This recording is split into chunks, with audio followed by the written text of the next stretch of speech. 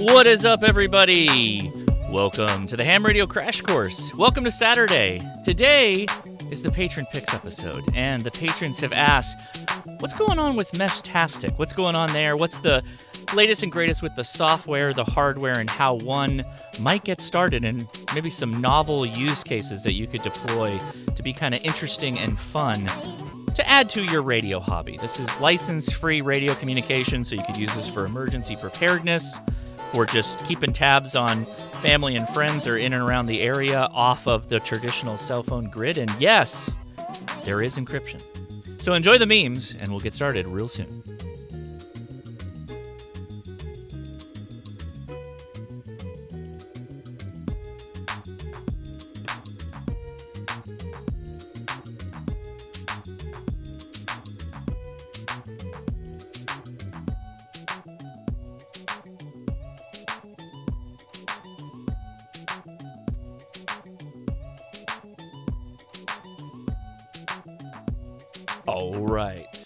Going, everybody? I am Josh, KI6NAZ. Today we are going to be talking about Meshtastic. I'm going to give you my 30,000 foot level information or my thoughts on it. And then I've got a couple of smart people that are actually on the development team and designers of different aspects of Meshtastic that we're going to be talking to to answer your questions. But as always, we do an after chat on my Discord, the Ham Radio Crash Course. If you have any questions, Meshtastic related, will probably point you towards their Discord. But if it's radio questions or anything like that, make sure to join us over there because we'll be doing a, sh- a show after this show called the After Chat. So Meshtastic uses LoRa technology. Long range is the idea, uh, the mode of communication. It's for Americans, it's 915 megahertz, and you can send text messages with it.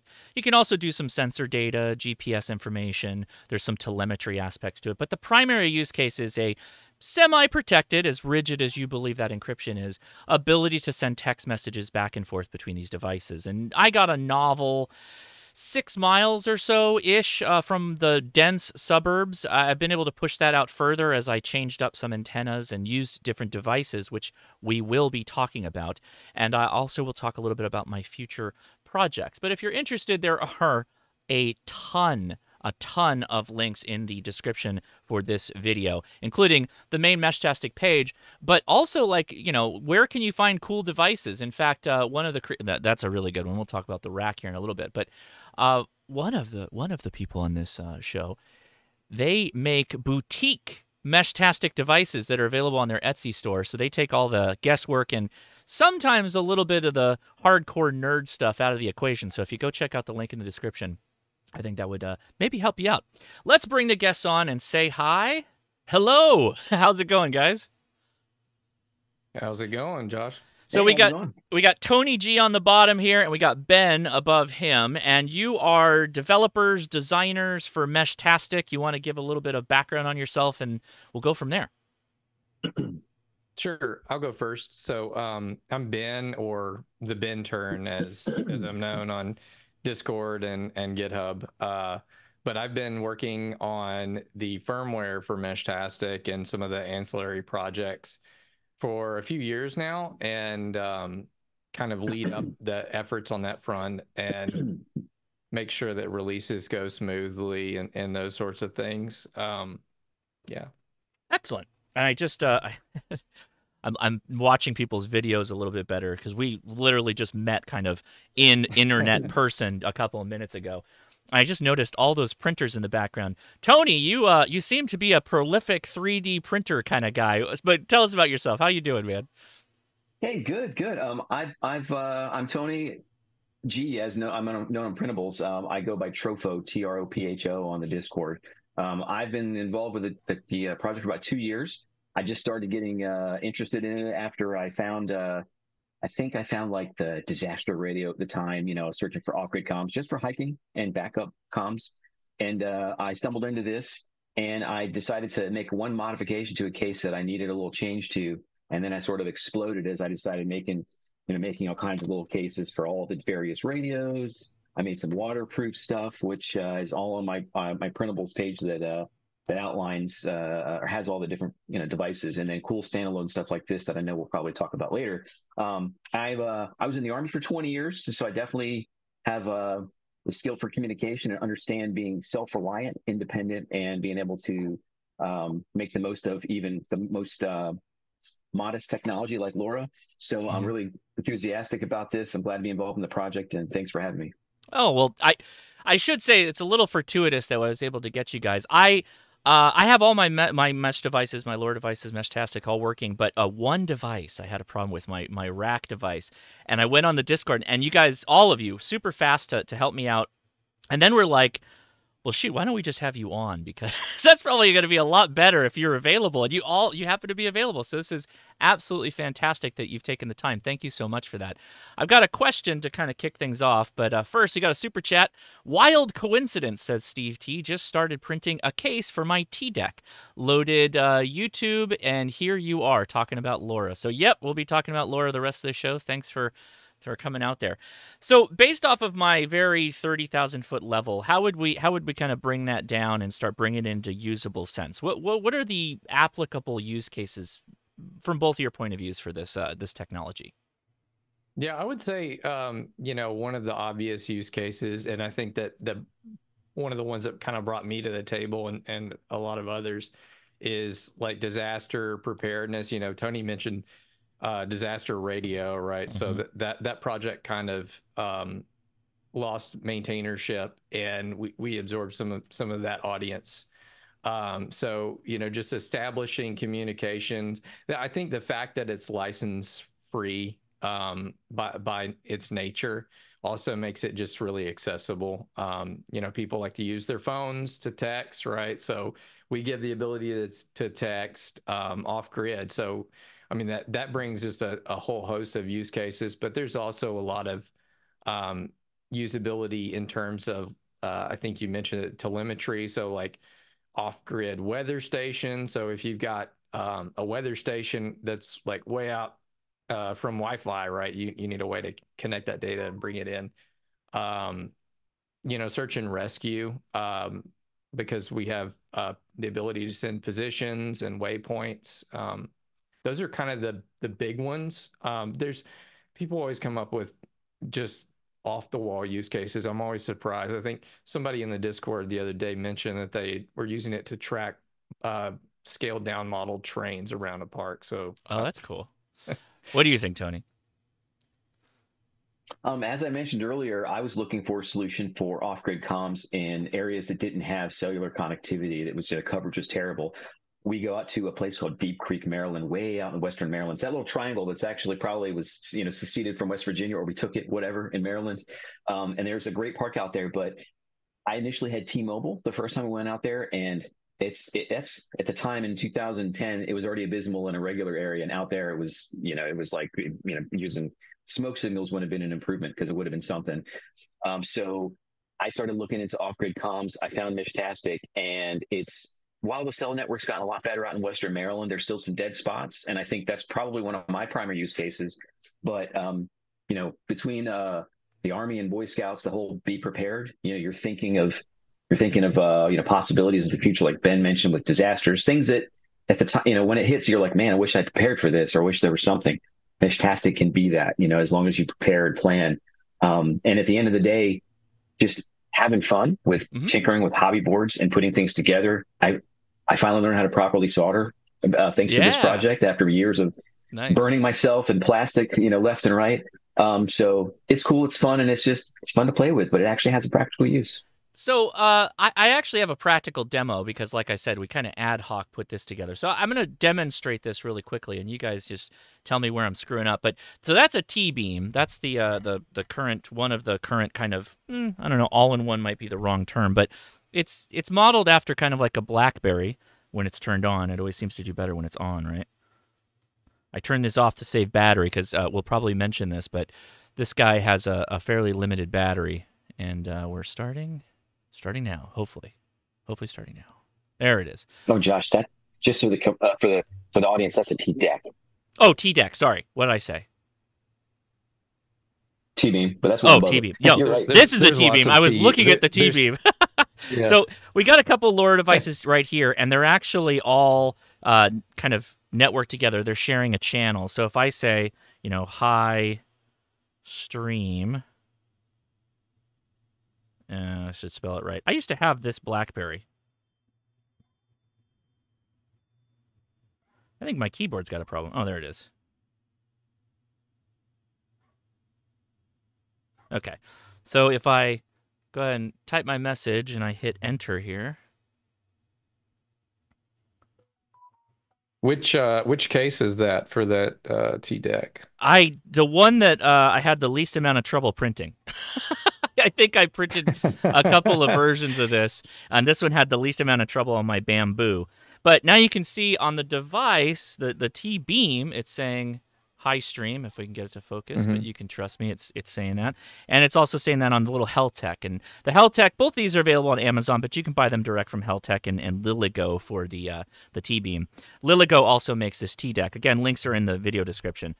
But the uh, the kind of approach to this is these can be separated from each other. In fact this little T beam with this antenna on it does really really well and it runs off of an 18650 battery uh, and you can also apply solar in some cases to some of these devices, and they'll just kind of run and run. In fact, we couldn't get to it today for the video, but this is the uh, the little RAK device in here, along with the GPS antenna and the antenna for doing LoRa, and a solar panel on top. And if you do this right with an appropriate size battery, you can basically keep it running just on that small little solar panel. So that's the concept, and you could spread these out and kind of going back to the fundamental nature of this, this is a meshed system. So if those devices are all channeled together, uh, they'll be able to communicate. And as some fall off or as some come onto the network, they'll mesh and either figure out the most efficient path to send your message through multiples of those devices. Is that about right? Is that about how you'd say it, or what would you add to that?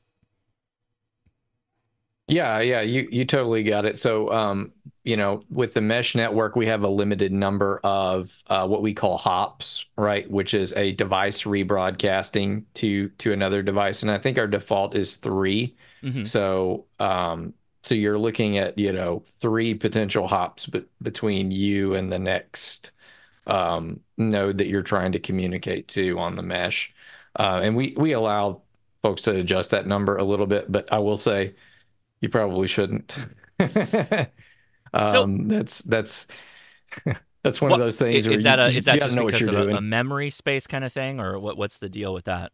It uh, it's uh, mostly airtime because um, the the amount of rebroadcasting that goes on as that hop count Sure. increases um, Sure. happens happens to kind of uh, monopolize quite a bit of airtime, and so Mhm. people people uh, as, as they do like to turn the knob to to 1000 and uh, you know f- figure it's going to work better more is better right and then Of course. like why are my messaging so slow It's just know? like APRS packets, right? We, if we if we make it too many rebroadcasts, we've we've fundamentally re-spammed and saturated the network uh, with a limited amount of frequency access. So uh, I said I said 1915 megahertz. That's the license-free space. There's uh, there's multiple bands that are available for these devices, and I, I, I correct me if I'm wrong. There's also a 400 megahertz ish band that goes along with this too, right? Yeah, um, so there certain certain ISM bands uh, globally use the 433 megahertz. That's kind of this the center band, and and obviously you can use that here uh, in the U.S. on on um, uh, 70 centimeter amateur uh, operation if you set uh, the device up into what we call license mode, which basically turns off encryption, um, sets the um, the node up to broadcast your your call sign every 10 Ah, minutes to okay. just we try to do our due yeah. Mm-hmm. diligence to to make sure everything's on the up and up for ham mode so that people feel comfortable about it So you But you can, can ham also- it, but you lose the encryption, right? correct and you can do that um I, i'll just say you can do that also on 33 centimeter band um in the us as well but additional power is kind of the the the idea there uh, if you you know if you want that additional power then you, that there is a path for that with the with the amateur Okay. usage. I, I realized also that I didn't I didn't show one thing on my little demonstration there. Uh, while the T deck has the keyboard and all that, these devices they require some kind of tablet or phone. So that's actually one of the devices that's connected to my phone. So the message did go through. It went through all of them, but it it forwarded it to your phone via Bluetooth, or they'll also work on Wi-Fi. And there's actually a couple of fun ways to set one of these up that would potentially connect through your your home Wi-Fi that you could access as though it was a remote messaging type capability that doesn't necessarily require like a phone or anything like that, right? Is that how some of you guys deploy your systems or what do you do in your case as far as your home setup and maybe your on the go setup? I have a a solar uh, actually node on my roof that uh, I actually I have it in my attic and I have a cable run out and it connects to my roof. I can get long distance, kind of a home base situation. I don't have to worry about battery power, though I do have a battery backup in there. Um, I have a vehicle node in my truck, so I have a like a little, uh, you know, 18 inch. I actually think it's three feet. Yeah, it's a three feet long outdoor like fiberglass antenna with a magnetic base on the top of my truck. I can deploy it when I want to. I can take it inside. Um, I have, you know, my little waterproof devices. I have my keyboard devices. I have a whole bunch of stuff. It's handy that I can design them so I can make all the you know niche use cases. But the bottom line is having a handheld mobile node that either you connect to your phone with and use the app, or you have a keyboard, one wherever your base station is going to be, whether it's your house, a vehicle, anything like that, or you just set up something. You know, you throw a radio up in, in a tree and pull it with a rope and get it as high as you can to cover an area temporarily. Pull it down when you're done. Sure. You know, you have a lot of options. Or deploying a solar repeater in key areas in your region to really expand your mesh because the more you have, you know, the more that they can serve as relays for each other. Um, and also, we always want to get permission before we go and deploy random things out in the wilderness or in urban areas because reactions can be mixed, and we don't we don't want to get ourselves in trouble. So I'll say that for the audience. Uh, ask you know act what is it um uh, act and then ask questions later, right? Or you know, mount mount your node first, ask questions later. I don't right. recommend doing that. It's better you you cooperate. And there are a lot of great ham uh, enthusiast groups in your area that might have towers, might be amenable to expanding in their radio family. They could really be open to something like that. So uh, my, that's my daily carry is basically a handheld node, uh, one on my truck, and then of course base station at home with a solar panel to charge it. Now the base station at home is that higher up? What, what, what are you using for an antenna? What kind of mast do you use? I'm assuming you want to get it as high up as you as you can, right? Mm-hmm. Yeah, I have it up. Uh, I have a two story house, so it's mounted up on the the peak of the south facing uh, uh, part of my roof, and it's a standard, you know, three foot fiberglass antenna with like a little pole mount. So there's, you know, like you'd mount any antenna or something like that. Just get away from the house. Um, don't really have a lot of lightning here, so like a lightning arrestor or a lightning rod is necessary. Though I know people probably cringe when I say that because you should always have one, but I haven't done that yet. Um, so yeah, getting it two stories up, it makes a huge difference. Um, and more watts and a higher gain antenna are not always the best solution. It really just depends on your region and how far you want to go and how many devices, you know, fixed, mobile, etc. Um, mm-hmm. So it's uh, it's definitely different from what like high power radio enthusiasts might enjoy. You deploy it differently. You're not going to be transmitting with single radio, you know, 500 miles bouncing off the ionosphere. Um, it's something you have to kind of think out, but it is super easy. And, and again, the bottom line is the more of these you have, the bigger your network can be. That's the cool part, and they're cheap. How about yeah, you, Ben? And what do you got? I, I was just gonna say that um, kind of piggybacking off the you don't need the high gain antenna. You know, our all of our distance records I think were with little Omni whip antennas, right? So I mean, we've got I think it was 250 something kilometers from uh, from I think it was Montana to uh, a node in in Canada. So I mean, huge distances, and that's you know no no fancy that's all on the defaults with with just decent radios and omnis on on both sides. Um and so one i like to kind of deploy a similar setup to what what tony's talking about where you've got your handheld um, device paired to your app with bluetooth and then you can set up your your sort of base station node or your advantageous position node um, even outside, like onto your property, if it's if it's solar powered, and just get it in the highest possible location and let it relay all that traffic. You know, you don't have to be connected to your your station. I think that's the that's the kind of the secret sauce to Meshtastic is is understanding that don't let me forget because I, I want to talk about different modes within Meshtastic, like when you deploy a repeater mode, et cetera, et cetera. But it's but do you even do that? You just leave it in base settings and just kind of again let it mesh itself? It's supposed to mesh anyway, right? That's kind of what its job is.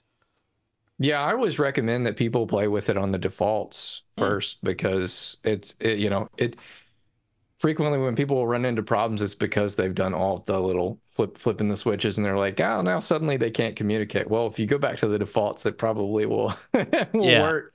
And then you you kind of get more confident with with ratcheting some of the settings down to to what you like with you know changing broadcast intervals and stuff. That's that's what most people end up changing, I would say, and setting up their own private channels. Right. Um, you know, most the, the apps let you generate that in, in the in the form of a QR code, so you can conveniently kind of scan it, and somebody else can come into your mesh um, pretty easily that way. So I'll let you guys uh, direct this a little bit. Do you want to talk about some of the updates that we've seen within the Meshtastic software, or do you want to maybe kind of hit what you might recommend a newbie looking at doing this for the first time? Maybe not a ton of experience in this. What maybe this is their first kind of non-phone radio that they might be playing with. What would you? Uh, what direction would you like to go? I want to hit both of them, but where do you want to start? What do you think would be better for people? I I don't really have a strong preference, but it sounded like your audience was kind of wanting to know some of the updates to yeah. what's happened with Meshtastic in in the past couple of years. So I can kind of give some of the cliff notes. Okay. A lot has changed. That'd be great. um, you know, we obviously we move pretty pretty quickly in in the Meshtastic ecosystem. There's been a lot of app development, a lot of firmware development. Um, one of the biggest things I would say is we've we've done a big focus on um, extensibility and making it easier to do things like plug-in sensors. Like we have uh, a lot of uh, Adafruit sensors that are plug and play now that you can just, um, particularly with the RAK WISP system, uh, because that is a that is a true plug and play system with most of their their sensors. There's no soldering required. You just buy buy the sensor and plop it onto the baseboard and screw it in. Um, so we focused a lot on things like telemetry, um, enhancements to positioning. Um, we've got a lot more work put into the standalone device experience that I don't think was even really present two years ago. And Tony can probably speak to that a little bit better than than I can because he's that's that's kind of his wheelhouse. But those are kind of the core areas I would say, and just a lot of under the hood improvements with the with the hardware and the radios. I noticed that with the the apps that they're just they're just more polished. It's, they're mm-hmm. easier to use. It's the same effective capabilities, but the look and feel between the Apple and the Android is a little bit closer now, and you know it, they're just they're a little bit makes more sense on how to get channels going, which we should probably talk about that too towards the end. Uh, basically, they all default to the same channel, right? So if you were just bought one of these things and loaded a new firmware on it, started it up, they'd all be able to talk, even if you some random person was running a default load, they'd all just mesh together and it would be, be one big party line.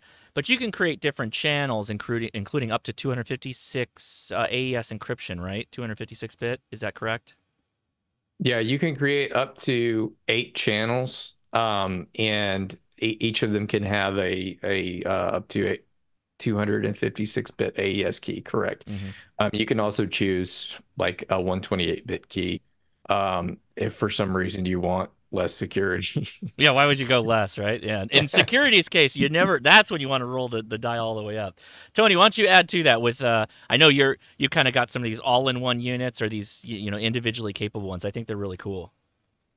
Yeah, thanks. Um so the keyboard support isn't necessarily a very recent development, but I think integrated in, into devices is. Uh, it kind of just started as actually the, the, the module that uh, that it depends on to use this this CardKB keyboard and and the one that's actually in the T deck as well uh, relies on a module still called um, the canned messages module, which initially it was set up to just send preset messages if you push a button.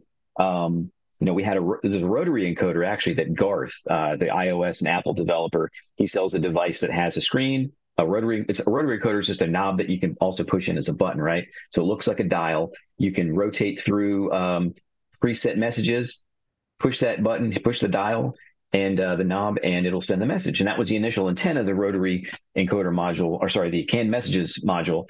And it was expanded to add support for the CardKB which is something that m5 um, produces. And that's what's actually in the heart of this. It's a it's a keyboard. Actually, I have this case that's not put together necessarily. I can get it open. And underneath um, the plastic and the rubber, there's actually this little uh, keyboard module, right? If, Oh. if anybody's seen one of these, Yeah. yeah. It, it's been used for other projects as well. It's got these little hard buttons, and you know what I did is just make it a little easier to use by by putting it in a case, obviously, and then adding some nice soft TPU rubber buttons um, and keys. But uh, the biggest thing is actually just extending the utility of that and something that I'll tease a little bit. No promises on timeline, um, but there is a significant user interface overhaul on the horizon, not just for device screens for the little devices, right, like T beams and and and the RAK screens and uh, these little OLEDs, but more standalone devices that have more uh, that have dependence on these tiny screens and don't have a phone associated and it's paired with them. Um, and I think that's probably going to be a game changer. Um, all the features recently have been amazing. Not only stability improved, um, but extensibility, as uh, as Ben mentioned. But um, standalone devices are definitely something that is a big priority for you know version 3.0 of uh, the Meshtastic firmware, and it's it's not a design by committee, but we're taking a lot of um, input from users and developers, not just our own good ideas that we foist on everybody, um, but a more you know cohesive, collaborative, and community approach to the standalone device UI, so we can have uh, lots of options. Because I love options. That's why I'm an Android user. I know, sorry, Apple. I know the iOS guys, but I like options. I like choice. I like being able to build my own or just buy something that fits. And I think um, just all the options we have, all the choice, it's amazing. The developers have done an amazing uh, work, you know, amount of work on this. Uh, it started as this tiny little niche use case thing, and now it's exploded into um, use cases like the there's you know volcanic eruption in Iceland, and we have a community user here who was was soliciting ideas like we have all these pets that are going to be running around. We need to evacuate them. How do we set humane, safe Ah. traps and monitor them using a mesh network to know whether that trap is filled, so we can go out there and take you know retrieve the animal before anything bad happens to them and get them out. And it exploded into this conversation of all these great ideas. Um, so there's a ton of community involvement, a ton of great ideas out there, and uh, we keep listening to them and, and, and put the best ones together and make the best of this project. I think it's going to go really, really far. I love that. So is it just some now my mind's a spinning. Is that some kind of like relay where the door closes or whatever it trips the the sensor and it sends a message or something like that? Yes, Oh, that's that's cool. exactly right. And I, you know, I'd suggest, hey, what about solar power? And it's like, well, I mean, if there's not enough volcanic ash, you know, in the clouds to right. charge the battery, Yeah. it's probably good. But if they can go out each each day, change the battery, check the trap, just to make sure there's you know nothing in it, uh, or there is, um, yeah, that's uh, that was exactly right. Simple is always the best solution. Oh, and- that's, and that's yeah. that's what we were talking about before before the the stream started with a detection sensor module where you're you're kind of just monitoring a pin for like high low state that's kind of the like use case for it right is like the mailbox opened or i have a motion sensor device that just triggers a pin high just to fire off a message and know that that happened um and it's just it's such a simple uh, easy easy thing for a user to to add to um, their mesh.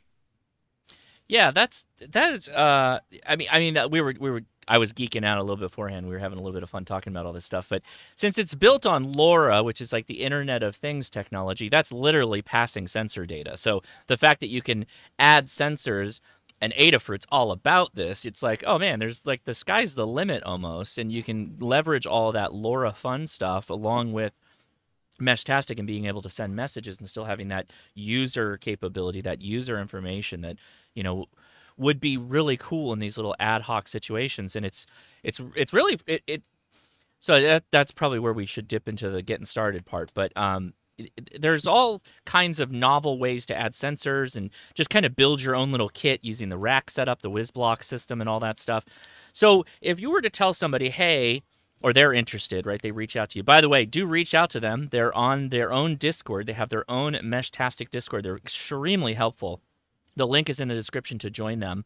Uh, they have a server link there that you can follow into that. So if you're already on mine, you might as well join theirs too, because you can ask their questions and pass it on. But where would you where would you point people to get started in this and to have let's let's say you know we're hams. You know a lot of people here watching are hams, right? So we're gonna want like we want a lot of range. We want a lot of capability. So what would you point people? Um, I, Uh, I would say uh, a lot of. I mean, everyone knows what a T beam is, right? And they keep buying them, and they're they're great all-in-one devices. They work they work reasonably well. They're cheap. You can put a, an 18650 battery in there, um, you know, and the battery life it it leaves a bit to be desired, right? Uh, the RAK Wireless RAK, uh, definitely more of a, a, a battery, you know, um, friendly solution and it snaps together. You know, either snaps together and has tiny screws that keeps it together. Um, you can 3D print your own cases. You can do all these things. Um, they're, I think, the better hardware solution, in my opinion. I, I base all of my devices that I sell or the cases are you know, primarily RAK stuff, um, just because of that power consumption, because of my use case, right? If I'm out in the wilderness, I want to have a battery that lasts more than you know 20 hours, right? But if you can get a good deal on like a, a, a Heltec, H E L T E C, that's a Heltec version 3 Mhm. for 17, 20 bucks, or buy a pair of them for 35, buy it. Any of these devices are great to start with, to dip your toe in the water and get into this project. Um, and then you'll find over time, oh, you want to build a solar node? Well, the more power, uh, you know, sipping devices are probably the better solution for that. But if you know you're going to charge your device every day, you can get away with a, a one day battery life and, and and save some money and maybe build more nodes you give to your your friends and family for whatever reason.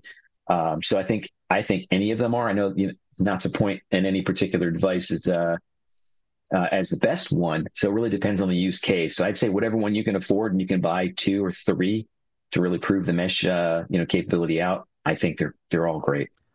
Yeah, I I think I'm I'm kind of similar uh in in my my viewpoint that as as Tony like the the RAK stuff um particularly because the NRF 52 baseboards are just so power efficient like they make the best mobile nodes in in my mind because that that battery life is is so nice to be able to take something that doesn't have to be charged for days um but like you said the the the Heltec board some of those um che- cheaper budget options are actually have pretty good radios built into them. And if you're just using something on your desk or you want to set up something that you're going to have always powered all the time via USB, then maybe power, um, excessive power consumption isn't really a concern. So um, it really de- just depends. And, you know, the other thing that, that I, I think a lot of people don't really think about when they first get devices like i'm to need a case for this thing. If you don't have a 3d printer if you're not a tinker uh, you got to go to to somebody like tony that that has cases available. So that that's a consideration too right? If you're to run around town with this this thing then you probably want to get a case for it you probably don't want to carry a, a meshtastic starter kit in your pocket with a lipo or a, or a So- big old battery bank for USB. I mean, that works, Yeah. no question. it, But- it does A lot of these slick things. I mean, by the way, this is Tony. Uh, he's on Printables. I have linked him in the video description as well. There, he's designed some really really cool devices, and I think he said if it if it does Meshtastic, he's made a case for it at this point. Uh, so, literally, you can go crazy with multicolored type stuff. Um, and with this, I'm assuming Tony, feel free to jump in there. You also have the capability to add batteries to this. That one in particular looks like it could take a big old battery, but that's a that's a major part of this too. Is that you're building the kit to do the thing that you want it to do, right? Like you you add a, a larger battery, smaller battery, larger solar panel, smaller solar panel, and ha- ha- speak to that a little bit as far as your design aesthetic and kind of where the, you go with it. Oh, sure, sure. Well, my first case I designed, you know, for the T beam, you know, that's an easy one right there. And I started jumping into the RAK wireless, you know, RAK wireless and some other ones that have the, they use the, uh, you know, smaller lithium polymer, you know, flat pack Yeah, batteries. little flat pack guys. and yeah. I, I designed for what I had, and I realized, well, if I'm designing for some of these, you know, ripped out of another device or, or hard to find batteries, I need to change my strategy. So I started looking for commonly found batteries on Amazon, dimensions that you could use. Um, you know, to and then I got requests. Hey, how about this battery? How about this battery? This thicker one's great. And I offer, you know, three, four, five, you know, uh, v- variations of battery backs, right, to accommodate various batteries. You saw my monster one for the RAK wireless boards. It it takes two uh, 18650 batteries for up to 7,000 milliamp hours, and I, I'd say if you want a month's runtime without GPS, that's the one for you. But if you don't mind charging every couple of days, you could probably get something with that's a lot thinner than that.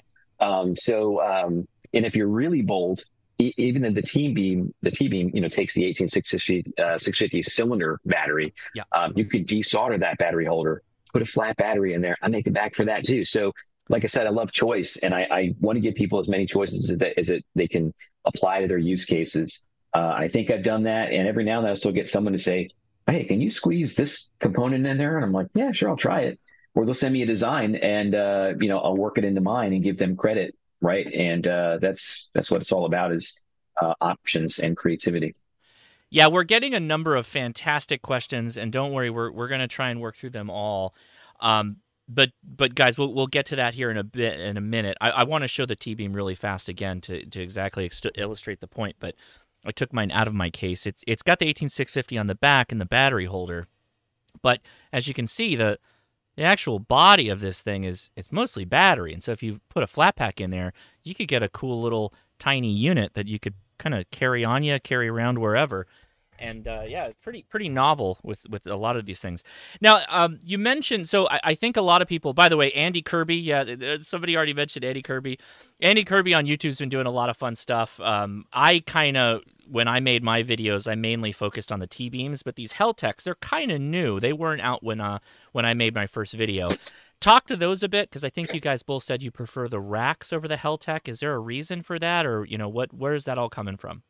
I think most of it is the the power efficiency of the RAK, right? Mm-hmm. Like the uh, the Heltec V3. So w- when you did your original video, it, the Heltec V2s might have been out. Uh, they yeah, were kind so. of they were kind of a somewhat shady choice. Yeah, um, the, the T beam was the preferred choice, no question. When I was when I was playing around these like a year or two ago. Right. They, they they were a quirky device, but the the Heltec V3 came out. I don't I I can't remember exactly when, but it's been it's been out for probably the better part of a year now. And so they added the USB C connector, which like okay, that's yeah. that's nice.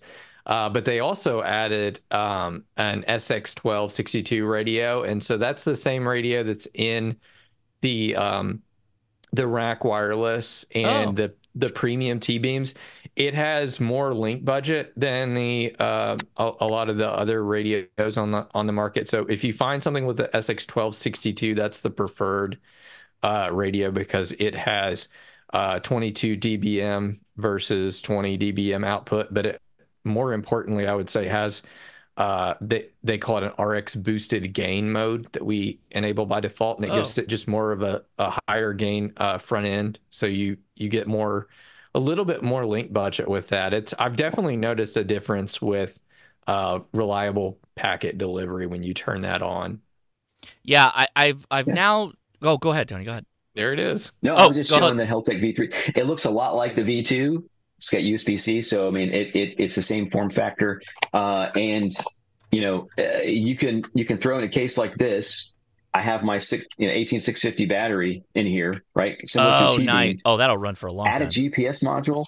And my, I haven't called it this publicly, but in my mind, this is the, the better than a T-beam radio because it's half the price, better radio. Mm. Uh, they, now, LilyGO came out with a T-beam Supreme, which is a nice board too. It has all the bells and whistles that this one does, but it's a lot more expensive.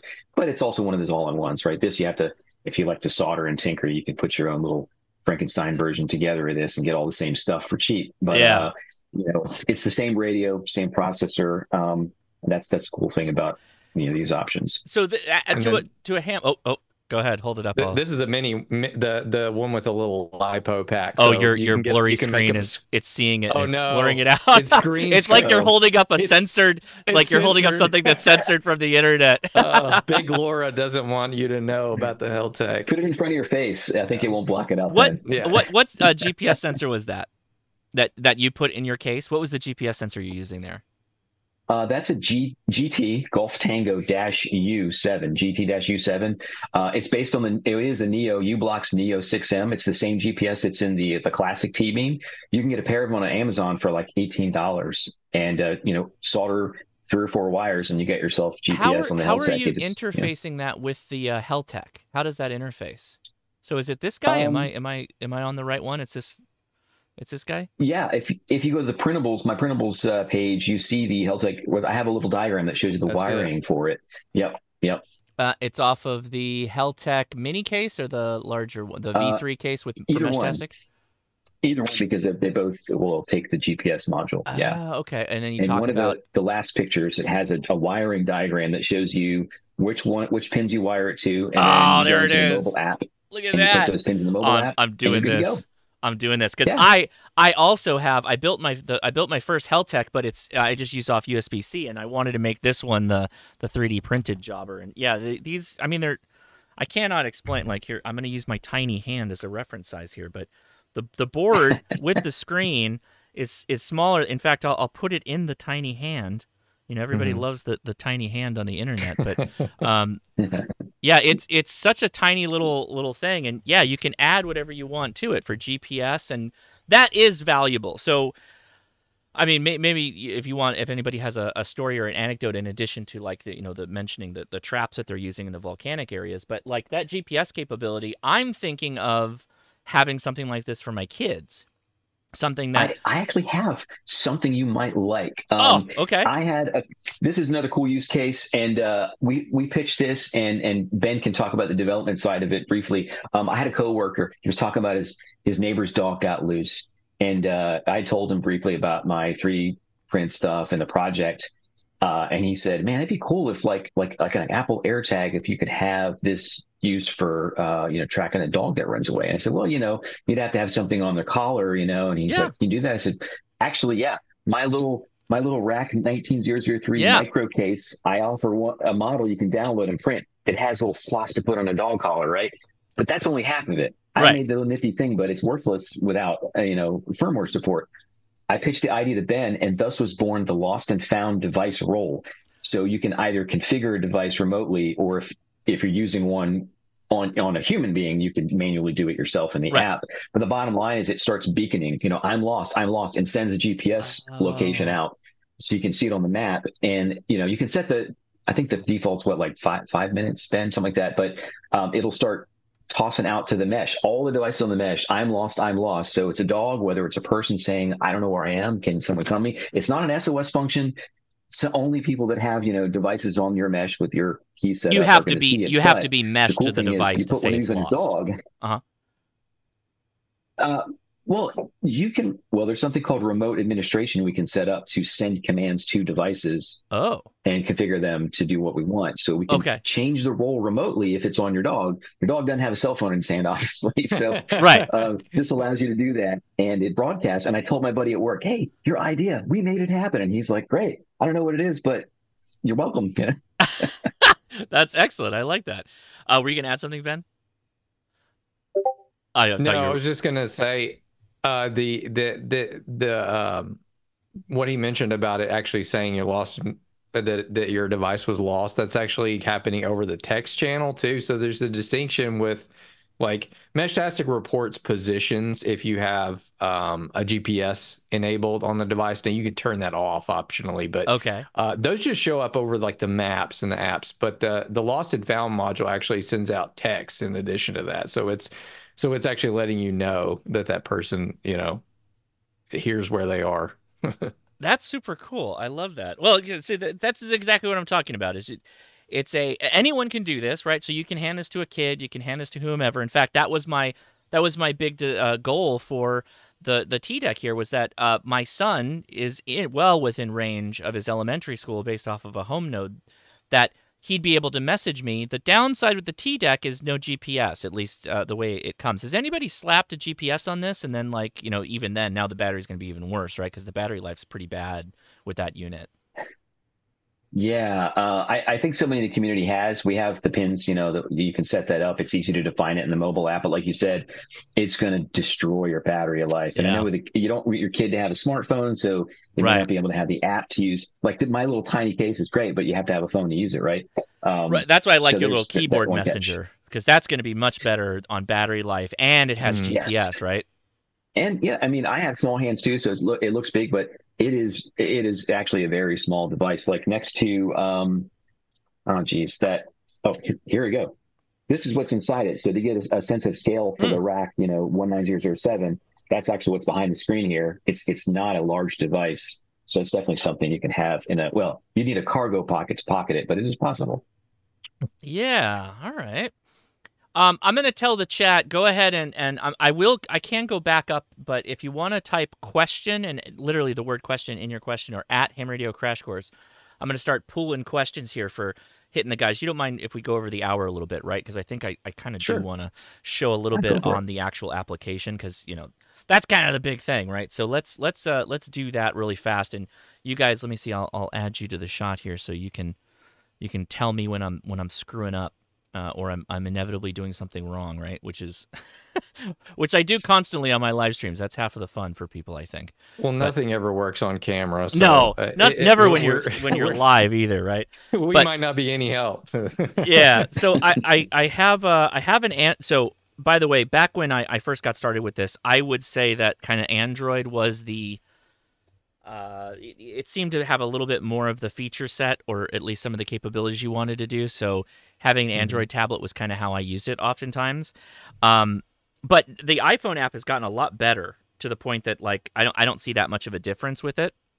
So uh, sorry for the shiny screen. I wasn't able to get this on HDMI, but basically, I made a, a channel, just just one channel called uh, HRCC Crypto, and now all the devices show up here, just like you'd have a, a text message kind of system for your friends, buddies, whatever. So if I t-decked, you know, a message, it would it would show up, or whichever device was sending it. In fact, I, I think the t-deck's connected to the uh, the Android here, but from an app standpoint, this is it. This is the primary like user controls of this and it gives you the the test here and how you use this it's it's a really novel approach so if you had multiple devices and guys you tell me how to do a better way of doing this but what you do is you you just take your phone uh, and you you just get the there it is and if i click the Mesh meshtastic button on my phone uh, it'll add that channel to the app on the device for whichever you're synced to so if my my app is connected to my t-beam here my Apple iPhone and the T Beam, it will add that channel to this device, and, and that's how you add the channel. So you kind of set up one device the way you want it, and then you just share that with another device to be able to, to get the channels over. Is that kind of the the easiest fundamental way of, of adding channels or sharing channels? Yeah, I- it totally is. I mean, there's there's other ways of doing it through like Mhm. the command line on on the computer, but you know, that's that's not grandma approved. Um, Well, yeah, that- channels. That's a fantastic point because I don't I don't have that uh, I don't have that set up here. But there is a like a, an application you can run gives you full control. You can do everything whether it's connected to a computer. Can you do it over Wi-Fi? Does it have the same UI over Wi-Fi? Or The- the- you know local network? Well, the the Android app and some of the command line tools can connect over over TCP/IP um, for Wi-Fi or uh, the the RAK also has an Ethernet module. So I want to I don't want to throw it out either because it can technically do the TCP yeah, yeah. I guess Uh, if you attach enough connectors to anything, it could Mhm. do all the things, right? yeah, right. And the the Android app can also do a serial connection to the device, um, and so can the command line ones as well. Uh, that that has not hit the iPhone yet. Okay. It sounds like there's a big uh, interface update coming soon that was hinted on the show. So that's great. As far as um, settings go, so this is where, you know, if you if you wanted to change devices, so I have a couple of known devices to this uh, this tablet. I would click on them to be able to switch between them after you set them up initially. And there is a bit of handshaking you have to do. A lot of these are like low energy Bluetooth, so once you sync them up, it's going to ask you to set the region. Once you set them to US, though, they're pretty much good to go. As far as uh, if you go to radio configuration, so if you click the the meatball menu, I'll go back the little meatball menu there. It gives you a, enough uh, all kinds of different controls here, but the the thing of interest is probably this radio configuration menu. There is a lot of stuff in here, more than just uh, we have the time left on the show to be able to answer all of that. But all of the details for the advanced features are in there. Is there anything in here that I should probably show people that are potentially interested in something new or interesting, or uh, if they're starting out? Since I'm since I have it here. I would say I the have a roles. suggestion. Oh, go ahead, Ben.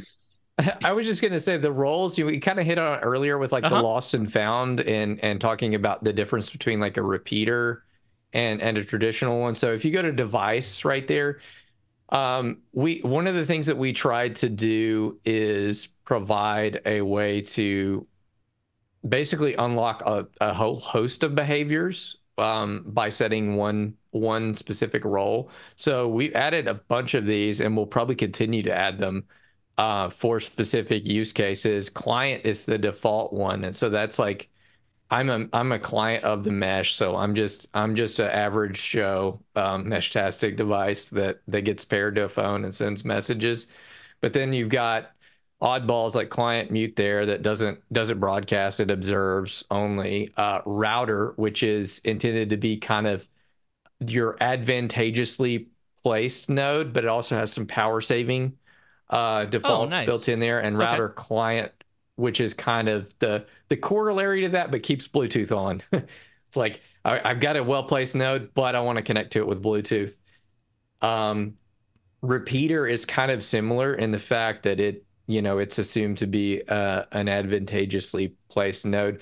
But the the interesting thing about repeater is it doesn't actually show up on the mesh. So it's not actually broadcasting any kind of beacons or anything. It's only rebroadcasting. So it's it's more like a traditional ham radio repeater ah um, okay. in in that sense. And then we've got some other roles there like tra- uh, tracker and sensor that like kind of prioritize like telemetry data or position data in the case of tracker. And um, I did see TAK. Client hidden is kind of a ATAK got mentioned multiple times, yes. which we're going to get to. So is that turning it into a TAK enabled device kind of thing? Yeah. Um, so that actually, it, one of the main things that that does is actually ratchet up all of the kind of traditional intervals for sending um, beacons and positions and all the things that Meshtastic wants to send as a mesh. Uh, ah. normally, it turns a lot of those things up to kind of the max um, interval so that they don't get sent a lot because ATAK has its own uh, protocol for for all those sorts of things. So it kind of gets it gets the Meshtastic native stuff out of the way and says, let let ATAK be kind of the the showrunner. Okay. Uh, for for that for that particular role. I like this client hidden. That's kind of there's a little uh secret. Yeah, agent. that's a secret squirrel. Spooky.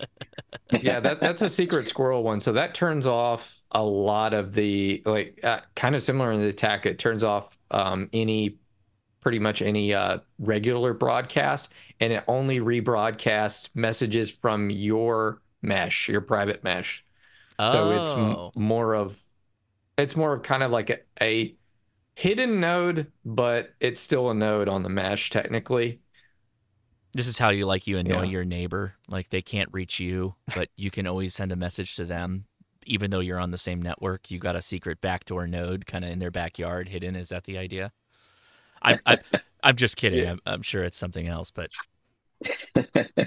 Well, it's kind of it's kind of intended to be somewhat of a clandestine operation thing. I don't I don't Ooh. know entirely how people are using it, but it was requested a lot. So wow, yeah, the default is if you set up you know your default channel, uh, every device you have could potentially broadcast or would by default rebroadcast and relay any other uh, mm-hmm. uh, Meshtastic node stuff. Someone's driving by, just walking by your mesh and range, your mesh is going to help. It's that community communication mm-hmm. sort of idea. But if you don't want that for whatever reason to save mesh utilization, battery life, whatever, you can you can do that like Ben described, just your stuff. And that's uh will that work even if your channels are not decoding those those messages? It'll just pass them through kind of thing? Correct, because it uh so it's they have to have the same LoRa parameters. So there's okay. there's stuff like frequency offsets and things that right. have to match. But but in terms of your actual Meshtastic channels with like the your your uh your keys for each channel, um it, it can still detect that that's a Meshtastic packet coming in based on the header and rebroadcast it. Say, I don't know what this is, but somebody's somebody wants to hear it, so let's forward forward that along. Yeah, and um, there's and the lost the, and found, right? Oh, sorry. Go, go ahead. Yeah. Sorry. I was going to say that's just the default, you know, like like Tony said, the the inclusive behavior, right? Of everybody contributes to to everybody else's mesh potentially. Yeah, I like that. Okay, uh, and then lastly is that lost and found, which we kind of mentioned. Uh, Tony, were you were you saying something about what was the uh, the thing you mentioned? Oh, I was just going to plug the um, you said new users. I think it's something that's good to know about, and you can dive in later when you get a little more uh, uh, experience, time with time with this stuff, and also the motivation to to do some of the soldering and additions. But going back to Ben's note about extensibility, the external notifications module uh, is another one that um, I know Oh. not to keep plugging my own stuff, but it's a great example of it. Um, we have the canned messages module that runs the keyboard here. And then we have the uh, external notifications that, in this case, for this device, it runs the LED, the piezo buzzer, and the vibration module. And the cool thing about that module, the software module here in the in the uh, the firmware, is you can have an LED, you can have a buzzer, which is a piezo buzzer. It can be an active one that just does smoke alarm beep, or a nice passive one that does uh, tunes and melodies that you can configure. Um, and the vibration motor. Now, technically, you don't have to have those three modules. You can connect anything you want. You can connect a sprinkler system to it. I mean, you have to have a little more uh, interface, you know, sort of devices and, and technology in between those two things. But you can trigger something by an action, right? Like by receiving a message, um, by and I'm also kind of I don't want to confuse that with the the uh, remote hardware Mhm. um, module that can actually trigger things. But the point of the, the the external notifications is you can have lights and sounds and vibrations and all these cool things on your devices, um, which with just a you know flipping a switch you do have to you know solder uh, an led or in the case of RAK actually they sell all kinds of modules you can just plug in these boards that can do lights and sound and all the cool stuff and not have to worry about soldering a single thing except for the screen unfortunately um, but and by the way for the audience if they don't know you don't have to have a screen on these devices Oh, we if you lost your your- your mic got weird for a second. Oh, sorry. Um, if if you don't, uh, if you use a phone app, you don't really need a screen for any, any of these devices. So if you're scared of soldering, you can just buy a RAK wireless board. Don't worry about the screen. Everything else is plug and play, and snap snap it on and put it in something. Um, but the nice thing is you have all these options for external notifications, and I'll uh, I'll defer to Ben for the remote uh, hardware one because he's had some really cool use cases. I'm sure he'd like to mention. Oh, that was weird. Your your mic thing, something got stuck in the mic, but then it, I guess it fell out. Like it's good. It, say say something again really fast. Can you hear me? Yeah, that was weird. You heard that too, right, Ben? Am I the Yeah, only- or yeah, Was I just having a stroke? Uh, Okay, it could be bandwidth on my side. I don't know. no, it was Sorry, good. guys, It's all it's all fine now. So yeah, go go ahead, Ben. Where are you gonna add to that?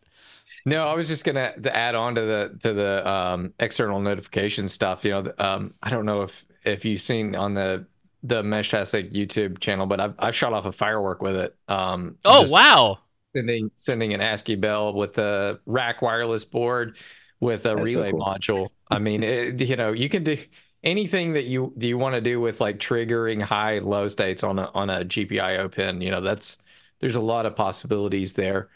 Um, that, and that's that's an easy way to do it. It's it's a little bit easier gateway to entry than something like the the remote hardware, which Tony mentioned. That's that's more of the pro user. I I, I confess I haven't really played much with the remote hardware module just because it's it's a little bit of a complex beast to set up. That's super I, cool. I forgot Ben that, that you used the just the simple external notifications one to do the fireworks thing. That was pretty slick. That was what I was thinking of. Oh, okay, yeah. I love it.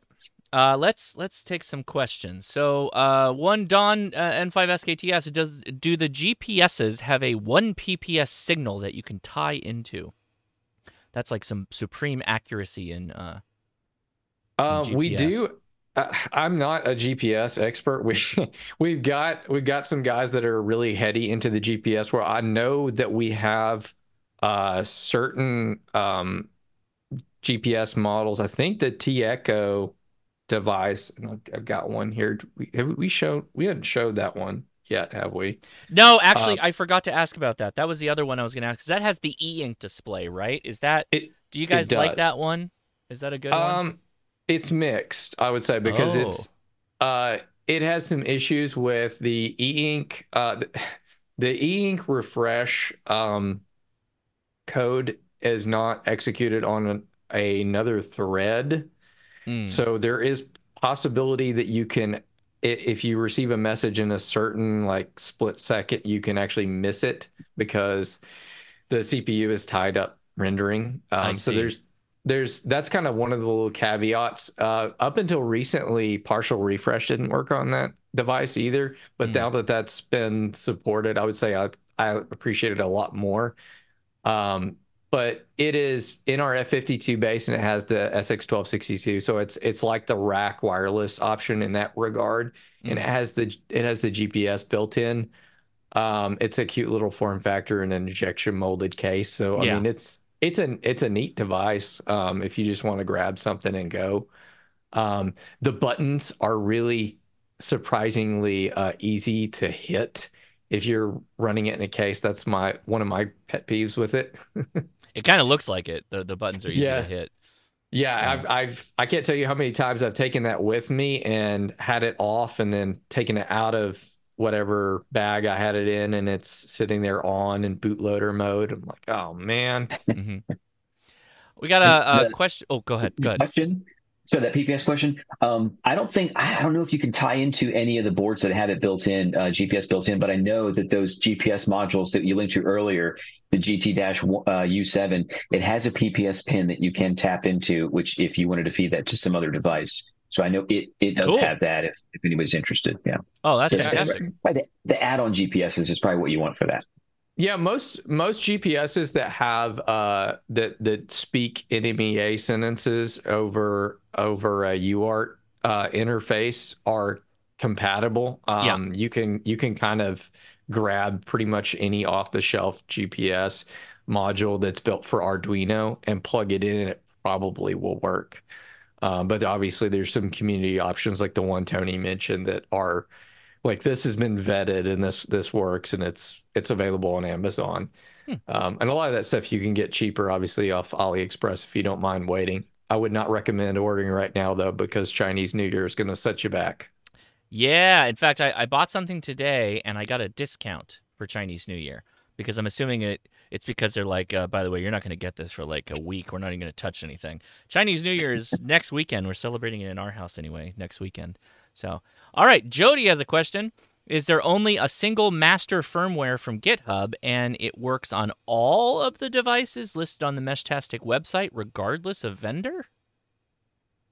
There, there isn't a single master firmware in, in the sense that there are multiple binaries, but it's all built from the same code base. Um, Mhm. There's a lot of a lot of complexity behind the scenes to make sure that the right code goes into the right spots. Um, and I would point people towards um, the documentation, but also we have an online flasher. So if you go to flasher.meshtastic.org, um, there for kind of the the actively supported devices, um, like the the T beams and the the T echoes and stuff. There's um there's actually a, a way to flash that online for many of those Mm-hmm. uh, within your browser if your browser is Chromium based, so like Edge or or Chrome. Um, it, it uses Web Serial under the hood, so it has to have you got to have special special browser. Yeah, I ended up using that to reflash most of my devices as I was playing around with this with the last week. So works great. Uh, yeah, I've had I had no problem with it aside from that my WisBlock one, but that's I think that's just my hardware. So all right, good question. Next one, let's see. Ah, uh, they're asking about DEF CON. Apparently, you guys were popular at DEF CON. How is the database overload going? We kind of crushed the limit at DEF CON. So what's the what's the background on that one? So, um, you know, as you know, these are devices are are kind of like low on memory and um, Yes. you know, They're Internet like of the- Things devices. They're not necessarily like texting your your your your BFF, right? Yeah, and so we, we didn't anticipate what you know, we knew that the the project had gotten more popular, but we didn't anticipate that there would be over 330 devices around DEF CON. And we always put kind of theoretical numbers out there about how many nodes can fit in the Meshtastic node database. So we call it the node DB. Um, and I think at the time we had said around 80 and it, it was just getting smashed at DEF CON because there were so many. And so it was crashing a lot of devices. And we actually put out an update like during the con uh, that that fixed some some issues there. Uh, we have now, and it's kind of a, a still, I would say, an artificial limit of a hundred uh, nodes in the node database. Um, and it, it's the way to think of it really is kind of a circular buffer. So it's not like a static list of like you hit a hundred and then suddenly you're full and you can't take any more nodes. We kind of we start to roll off the last node off of the list um, as new uh, contacts come in. uh, which is a lot more resilient. But um, because you are dealing with such a low uh, with such a low bandwidth, um, you know, protocol, I will say meshes that are that size are not going to perform well anyway. Like you're not going to be able to send um, a message to a, a, hundred of your buddies in a, in a small area and have if there's have a hundred mesh nodes, yeah.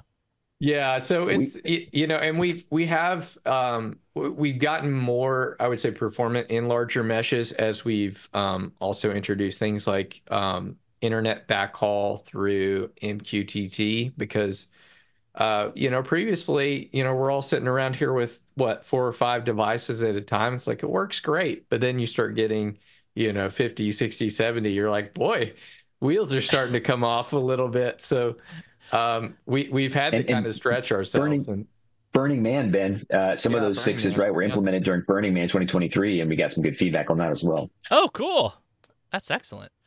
Uh, let's see. So there's another question for ATAK. I, I think once upon a time there was more ATAK support. Uh, what what's the story with that? The question is ATAK requires a much older version of that software to work with Meshtastic. Any chances of renewing the relationship between ATAK and Meshtastic devs so we can use modern ATAK software? Um, so that's actually old info. So we have an official uh, ATAK plugin um, ah. in in Meshtastic uh, ecosystem now. Um, uh, the, a plugin developer um, we worked with uh, Hate on Discord. Uh, he's he's kind of spearheaded that, and so uh, the one thing I'll say with that is make you have to make sure if you if you want to do the ATAK thing, you have to get the .gov ATAK. You cannot do the Play Store ATAK. Um, but it, if oh, you go okay yeah, it, it, um there there's a lot of limitations there. I don't I'm not a a tech expert, so I can't I, I will not say anything I, am not really completely familiar with um on there. But I, I, as I understand it, there's some differences in like the pl- plugin support and architectural support. I know the apps are different. So if you're mm-hmm. talking like the government version of it versus the civilian version, those are those are two different applications. So you're saying there's another layer there potentially? Yeah, I, I, I just know that the tak.gov version is the one that you that you want for the for the official Meshtastic plugin to work, and that's available on our uh, our GitHub uh, oh, org. Cool. And I think I think we link to it in our in our docs as well. And if you have any questions about that, the um, we have a room in Discord specifically for ATAK stuff. Um, so that's that's a good place to ask. I always point people towards the Discord just because we have such a responsive community. Yeah, I well, Discord in general. It seems to be the place for answering questions, I think. Sully asked question, is it possible to add a single channel without overwriting all of your existing channels? I think that's yeah, that's easy to do. Yeah, um, I I know in like there there's a little bit of a difference between like the iOS app and the Android app. There, mm-hmm. um, I think the the iOS app replaces um, based on the QR code, whereas mm. the Android app I think allows you to add a channel. You can also add channels via the the Python CLI. Um, there's there's a really convoluted command that you can you can uh, add uh, mm-hmm. based on the pre-shared key. Uh, yeah, I, we're I've used both. I, I use both the apps to try and stay up on it, and um, I'm always when I when I create the channels, I when I share it, I'm making mm-hmm. sure that my QR code has all the channels that I want to share. Is that possibly why they're getting blown out? Is they're not making sure to click all the channels that? Yeah, if you're yeah if you're sharing the channels, you if you're wanting to add one where you've added one on one uh, platform and you want to share it to the others, you have to make sure that you've you've got them all checked because hmm. that will that will ensure that the entire QR code is replaced. Okay. All right. Let's see. I think we got to the end. I know there was other questions, so uh, this is your last chance, people watching. If you have a question for some of the devs here, uh, there's a lot of commentary though. Man, you guys had a lot of uh, comments. That looks like uh, Meshtastic's YouTube channel is in the chat too, answering questions. At least I, I at least that's somebody posing as them, right? Um, Oh, you know what? Wait, I, I think I missed some of them. Oh, I missed a ton. Wait. Okay, so there are way more questions actually.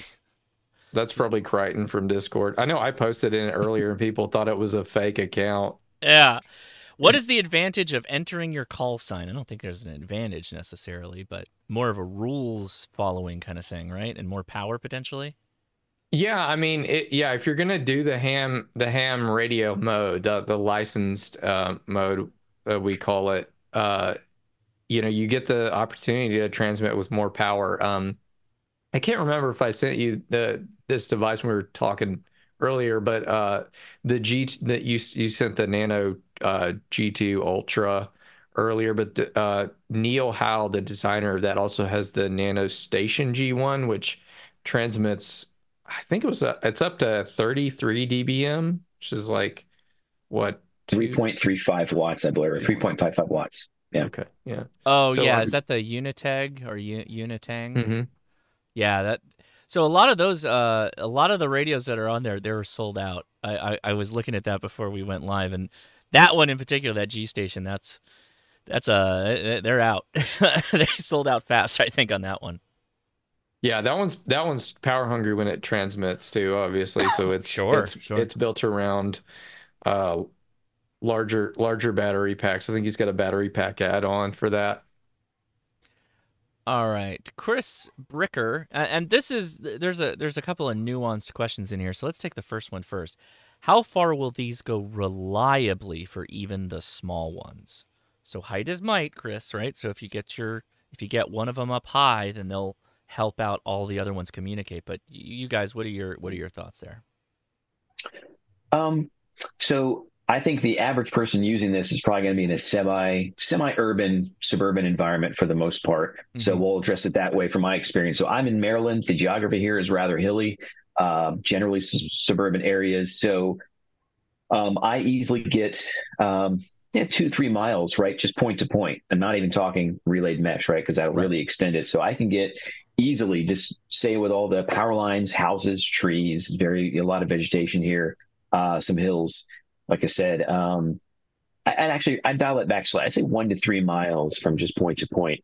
So, like you said, height is might. If you have some friends that are between one and th- you know within one and three miles away, you get a note up on their roof. You're going to extend that significantly. Uh, and I know that one of our our guys uh, on the in the community, he lives out in Oregon. Very flat lands out there. He's done 15 miles easy because Yeah. that line of sight's super simple, you know you're going to reach the other side of that. Um, and then some of most of the records we've set were either um, over very flat land, over water, or from a balloon. You know, relaying stuff right from from air to ground and vice versa. Um, so I, I would say reasonably, just from a planning perspective, a couple of miles at most, reliably. But again, that's an urban environment with a lot of trees, a lot of houses, etc.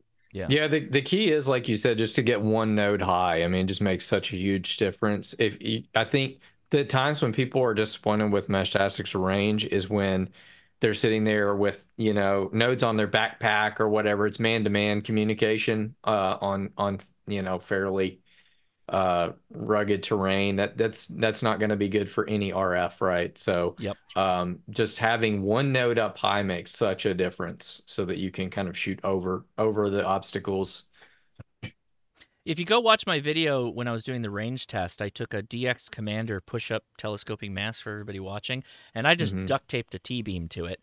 And then I had my home station on the ground listening basically to that T-beam. And then that was my range test. And I got like six miles away as the crow flies about. But that wasn't even really trying. And that wasn't with like a, a, a better antenna. Amazon literally sells antennas for 915 megahertz. So yeah, you, there are all kinds of options there to improve. Um, really also just make the, the longevity of the device exist outdoors, solar power, better antenna, higher up, all those things will pay dividends. The second part of this question, are there any devices that do all three bands? And so I'm I'm guessing I don't know that you need that, but maybe you guys have a more nuanced answer to that. I, don't think so. And, you know, it, it really wouldn't do that much. Uh, it wouldn't do any favors with mesh Meshtastic because we uh, only support one radio currently. Um, Yeah. At a, at a time. So one of the things that we would like to see um, in future versions of mesh Meshtastic is the ability to support multiple radios because there is actually 2.4 gigahertz LoRa as well. So um, Oh, Semtech has a board called the SX1280, so you can get higher bandwidth transmissions and you do more fun stuff like push to talk audio. Um, things of that nature. And so it'd be really nice to have like your high bandwidth, low bandwidth um, operation happen concurrently. And and obviously we'd have to get hardware vendors on board with that um, that sort of device. But that's that's something that we'd definitely like to explore. Yeah, uh, I'm I'm actually I'd love holding. something like that for like my home my home node. Oh, for sure. I'm holding a, a 900 to 950 megahertz uh, fiberglass antenna. These are available on Amazon. A lot of the Mhm. stuff I got to say are not too expensive.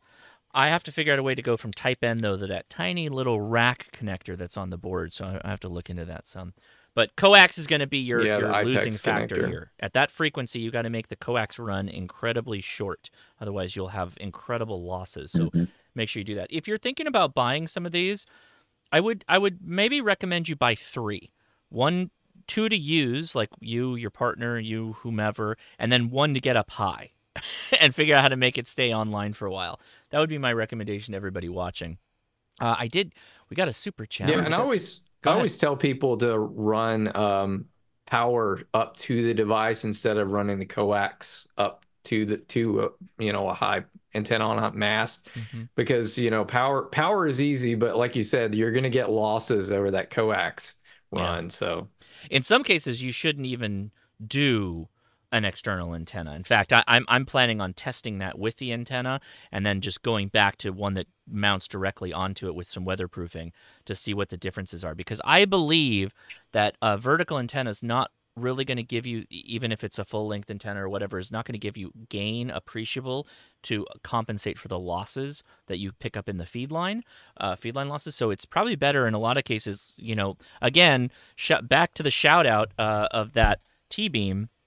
This little T beam elbow antenna performed wonderfully, Uh, well, well better than my expectations. So I know it's hard to see now that I got that in the way, but uh, this guy is is really a cool antenna, and I think I think my Amazon store still has my Meshtastic links, and I did post some links in the uh, the video description for you guys to find some of that stuff. But Julian's random and uh, most Ju- of those aftermarket. Oh, sorry. no, I was going to mention a super chat. Go ahead, finish your thought. Thanks. I, I was going to say most of those aftermarket antennas that are that are kind of like reviewed by the community um, are going to perform better than the stock antennas. That's one of the first things that I tell people to upgrade because you the, the antennas that come with the devices sometimes are kind of dubious. You put it on a nano VNA and you're like, boy, that's resonant in 700 megahertz. Great. Right, right. Uh, Julian's random project. Julian's ran uh, radio repair in Texas. Shout out to uh, Julian's radio repair in Texas. Thank you for the super chat. So much interest in the off-grid texting here. LoRa stuff is flying off the shelves. So that's, I think that's good. I think it's a, a, also a fun way for people to get interested in just the radio hobby in general. This is a, a, a really fun little usable thing that you can just you can hand family members this. You can build them up a like a little kit, you know, that uh that you make or go check out the Etsy store, right? For for Trofo here. Tro- Trofo, right? Or is it Tropo? I I'm so so stuck with Yes, tropo yeah. ducting. It's a ham radio term. It's Trofo, right?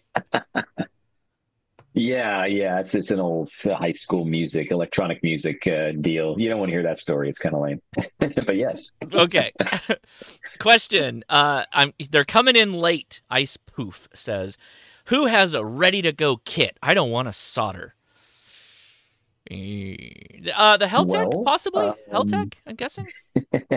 yes, I would say one of those boards like the Heltec's my favorite. T beams are fine, but the Heltec V3 has all the latest and greatest. You know, BLE version five. Sorry, my earpiece is pulling out. Uh, Bluetooth Low Energy five. It has the SX1262 high, higher power radio that Ben mentioned, and USB Type C. Right, so it's got all the the latest stuff.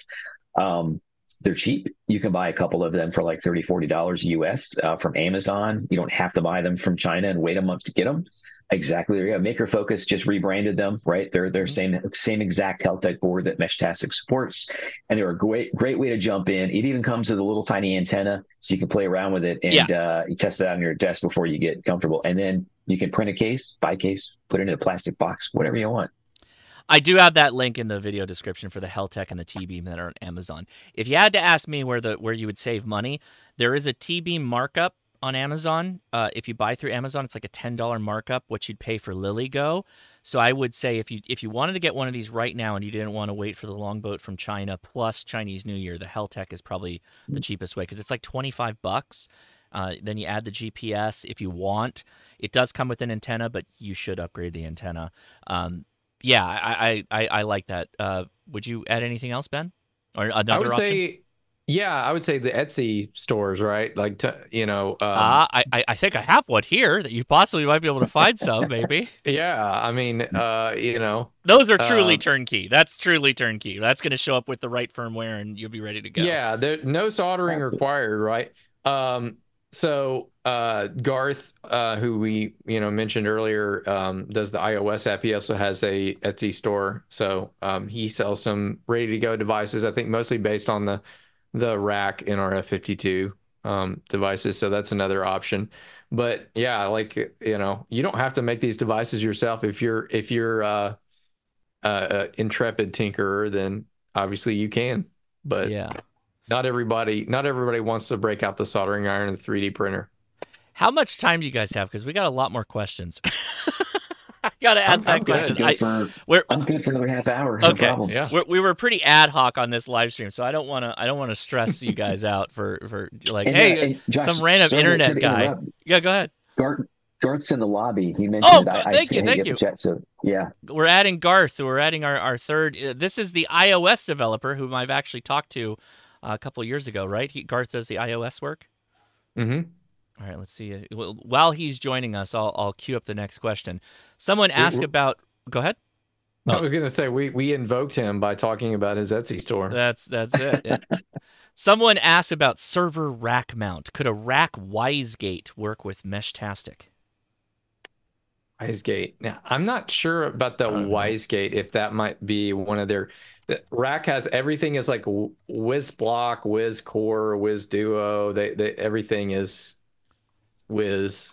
Oh, So- it's like looking a uh, an outdoor. It's like an outdoor gateway type of Oh, thing. it's it's LoRaWAN. So unfortunately, it, it prob- probably not since they're different. Uh, they're LoRa, but they're different implementations, right, Ben? Gotcha. Yeah, that that's a LoRa that's a LoRaWAN gateway. It's it's not compatible. So LoRaWAN is a little bit of a different beast, despite sharing the the first four letters. Um, Meshtastic operates on LoRa peer-to-peer, which is more of an ad hoc communication, whereas LoRa WAN is a very like controlled, multi-channel, synchronized um, protocol. Well, so now that Garth's here, Yeah, I get to do my dramatic animation, which is me holding down a mouse button and then slowly dragging the lower third out to reveal and Garth at the end here. So Garth, how you doing, man? Thanks for joining us. You're muted right now, by the way. Good. How are you guys doing? Just got back from uh, Whitefish doing some snowboarding. So Oh, that's well. Thank you so much for hopping on. I know this was like super ad hoc and out of the blue, but but thank you for being available. This is this is really great. So you develop, or you're actively working on the iOS application for uh, Meshtastic, right? Yep. So good work, I have to say. As a as a primary iOS user, that's the one I use most of the time. So thanks thanks for the work you're putting into that. Thank you. It was issue number two, so I was pleased to close that one and get an iOS app uh, working. So Very good. Uh, let's see. What's the frequencies asking question? Does anyone have an IP67 or better case for their kits? So full weather Ooh. up. That's Isn't that's a the tough one. uh, isn't the RAK- if you're talking, well, um, IP67. I mean, for those that know what it Oh, is, it's uh, they're very specific. They're they're very specific. Um, you know requirements, right, and certifications to test and certify things for IP, whatever. Um, but if you do look at the list of what the requirements are, you know, oh, I could take spraying water from you know 18 inches for three hours or whatever. Um, there are options that definitely people have created. Um, my little again plugging my stuff, but my little pocket mesh case here. This thing floats for one, so it, you have to forcibly submerge it. And I've tested it for 90 minutes under like a foot of water, which I know oh wow. again, I'm, I'm this isn't a certification lab here. It's 3D prints and laser cutting. Um, but at the same time, if you want something that is going to survive the average use, something like this, it's going to get you there. If you want to mount this outdoors, there are other, you know, weatherproof sort of enclosures you probably want to get uh, instead of something handheld. But You know, Uh-huh. unless you're underwater, this isn't going to be underwater probably. So this, I would say, good enough in quotes. But again, I'm not a certifier, but uh, I'll, I'll defer to to uh, Ben and uh, Garth on that one too as well. So there there is the uh the RAK box B2. Have you guys experienced this? This is uh, you're probably Mhm. familiar with this, right? Uh, Is that that might be the best you can go maybe. I don't know. Garth has some options, I would say, on his on his Etsy store as well that are um, built around some different enclosures that Oh, offer nice. similar similar capabilities. Um, you know, it, it's funny because Gar- Garth and I kind of met over the discourse years ago, just going over different solar options and enclosures and stuff. Just get, you know, hey, have you tried this Plano case? Hey, have you tried this? Well, uh, what say you then, Garth? A- add your thoughts. And uh, do I have the Etsy right? Is it the same Etsy or? Yeah, uh, Garth VH is the Etsy store. Um, I'm looking here right now because I can't remember if the case that we use is IP67 or 8. Uh, it is IP67. Um, so the solar node that Ben and I have worked on, um, we have a version that has an integrated panel Ooh. and then a version that will accept a larger uh, 12 volt or or larger even panel um, to allow for uh, even more remote locations. Those enclosures are, are IP67, um, have a really good seal, and uh, are are uh, are not 3D printed. They're um, they're an enclosure that we have machined, and then have the uh, Meshtastic logo printed on there as well. That is, uh, I'll probably be buying very expensive live stream for me uh, this week, guys. Everybody watching, I'm, I'm gonna be adding that to my uh, to my shopping cart because that's perfect. That's exactly what I need because it's also it's also kitted out for the uh, for the the WisBlock system, right? The the RAK. So that that looks great. And you've got the so is the SMA are the SMA connections built into that? Does it come? Oh, is that is that the full kit? One hundred nineteen dollars. You get all of that. Yep. Oh, okay. Well, let, I'll, I'm gonna I'm gonna drop the link in the chat. They might be gone by the time we end this, but I, I might have to add this to cart. I'm gonna see if I can reserve it before the end of the show. That's I'll- great, I'll man. this week too. I will also say that that one makes if you um if you add the feet to that and put some of the magnetic uh, rubber mounted feet from Amazon on it, it makes a fantastic car uh, node that you can just snap onto your car and run around. Oh, that's cool. Yeah, I love that. Oh, And that's a really smart off when you're idea. Dude, that'd be really good for uh, range testing too, because I know you got that feature in there too. That makes my life a little bit easier for range tests on antennas. I love that. That's a really good idea. All right, uh, let's see. Any plans to add a default channel with 500 hertz bandwidth for non-hams? Is that even a thing you can do? 500 kilohertz bandwidth. So that's Oh, pretty. kilohertz. Sorry, I missed the K. That's pretty. That's pretty high bandwidth. I Mhm. don't. I don't know that there's any any pl- immediate plans to to add that as a default. I mean, it, pe- folks can uh, obviously change um, the actual bandwidth in the uh, custom like LoRa parameters. We we give all of the knobs av- available for folks to to ratchet around with and and change, but um, I we tried to come up with a band plan uh, in in terms of like the the LoRa presets that made sense um, for different link budgets. So you've got like your extremely high link budget that's very slow for a small mesh that makes sense, and then you've got the high, uh, super high bandwidth, lower range Mhm. uh, link budget for you know I just need to connect like a big sensor network in this warehouse, basically. That's, that, it's all a lot more chatty. So let's see. How can well, this is a really good question. How can we support Mesh Meshtastic? That's from Nick is asking.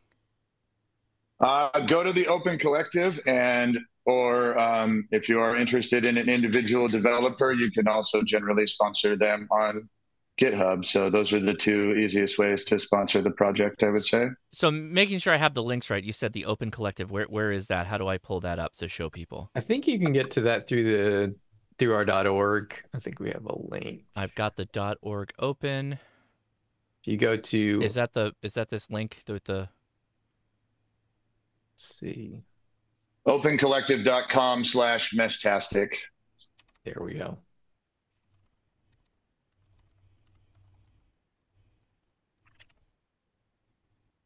There you go. All right. I will. Uh, oh, wow. You guys got this all set up. Excellent. So, yeah, if you want to help them out, uh, there's a donation path for. Uh, and it looks like you guys have a lot of supporters too. That's fantastic. So good, good job. I mean, I, I love, I love what you guys do. So, uh, if you got the time, let's see. I'm gonna keep throwing questions at you until you tell me to stop. Question: Go for it. ESP32v3. Are there Wi-Fi issues? So this is asked by Resistor. Wi-Fi issues. So I'm assuming they mean the S3. Uh, I don't think there are any Wi-Fi issues that I'm aware of. I know some there's some interesting stuff definitely with different folks like home Wi-Fi setups that where there will be something that we really can't reproduce and I Mhm. don't you know who knows what hardware folks are are running on their on their own home Wi-Fi. I haven't experienced any issues personally with the S3 devices. Like the T-Deck is runs on the the ESP32 S3 for instance, a- Mhm. as does the Heltec.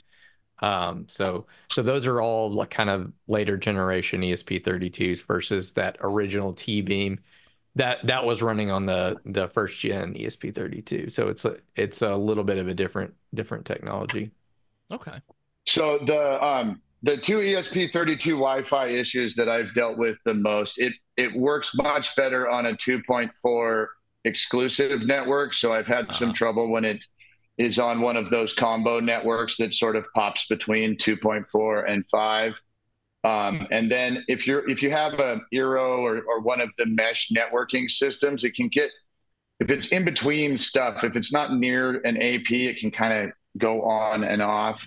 Um, so those have those have been some of the issues that I've I've had before there. If you get it close to an AP um, and then get it on a 2.4 gigahertz network, uh, I found it to be pretty reliable. But it does depend some on your networking. All of these IoT devices are really basic networking things. So like the RAK Right. Ethernet connector is a you know 1010 um, shows up as orange in your router uh, um, network connection, but it doesn't need 100 megabit to do uh, to transmit a little bit of mosquito around. So, um, so that's that's really the key thing is to if you have a complex network, is to go in and make sure that you use the basic settings and and uh, uh, um, IoT specific 2.4 gigahertz network really helps, Okay. which a lot of routers support. Yeah. All right. Do uh, Dawn's back with another question. Do the devs support the Meshtastic Facebook group? No, we don't actually. Oh, okay, that's good to know. Um, I have had of the handful of things that I not even really issues, just you know things, questions I had. Uh, the Discord's where it's at. You guys are like super active on the Discord. I got immediate response like almost instantly, even like super late at night um, on the Discord. So I think that's where I would point people to. The Discord never sleeps. Oh yeah, Yeah, there's some spurious communities like the the Facebook group that I think some of our there's some overlap, but I don't know that they're necessarily like official run Meshtastic communities. So I love the term spurious communities. Uh, good choice of words for the ham radio crash course. That you yeah, guys yeah, lift that Perfect, one perfect choice. Yeah. Uh, Frank Ham Radio Wilderness asks, will this interface with AREDN or can it? Have you guys thought about AREDN? Are you familiar with AREDN? It doesn't necessarily interface with AREDN because AREDN's like more of a like TCP based system, right? Uh, yeah, it's like mesh Wi-Fi. yeah. So I mean, there's potential that you could bridge that. You um, could, yeah, bridge sensors or something like that, or yeah, I guess so. Devices. Yeah, the Python uh, CLI has a IP tunneling um, interface where you can basically um, emulate TCP/IP, but it's very slow because this LoRa. So Right. um, it's it, I don't recommend it to people, but if you if you want to play with it, it is there. Uh, we got. Let's see. Frank got that one. Okay. Let's see. I think I got. Thank you, everybody, for the questions. Ah. So I think this might piggyback on the the DEF CON comment from earlier. Is there a limit to the density of mesh? Like, can it get overloaded, or does it just work better with more nodes? A little bit of definitely- both. Yeah. yeah, it depends. Um, the ham radio answer. Yes. so I think I think realistically the like limit of concurrently connected nodes on a single net mesh like interacting is the theoretical limit's probably about 300 um, at, at a single time concurrently connected. Now, in reality, when you're using this mesh network, it, it's flood routing, so they're not really they're not really connected in the TCP type of way. So, like Ben was saying, like the node DB on the device is really not net, like the apps can store many more node records than the node DB on the and and all of your messages and and data and stuff than the memory of the the small device can. So we are endeavoring through MQTT and optimizations to our routing and stuff to be able to support. Um, I, I think probably three or four hundred sort of devices uh, uh, roaming around at the same time is probably where we're going to wind up with um, on one of the the faster presets. Um, I think it Ben had said before that we started out using very long slow, which is a, a really distance optimized. Um, the last time you used Meshtastic, it probably had very long slow as the default. Yeah. Um, which was distance optimized. There's been much more interest in uh, because of the disaster and emergency preparedness uh, in having both a public and sort of a private mesh approach. So we figured out that the way that the LoRa channels were set up would allow us to um, you can set up a primary channel that is private and then you can create a channel with the same name as the default one, which is long fast, as one of your secondary channels. Oh, okay. And then your position data will stay on the primary channel, which is your private network. And then you're able to chat with, uh, you know, neighbors, whoever that are not necessarily on your your private network as well. So, um, in my experience, the the main thing that could make larger networks hard is that people do things like turning up the hops to seven and really increasing the broadcast uh, intervals to faster things. So we're working on um, one of the roles that that we had been talking about is doing more of a like event role.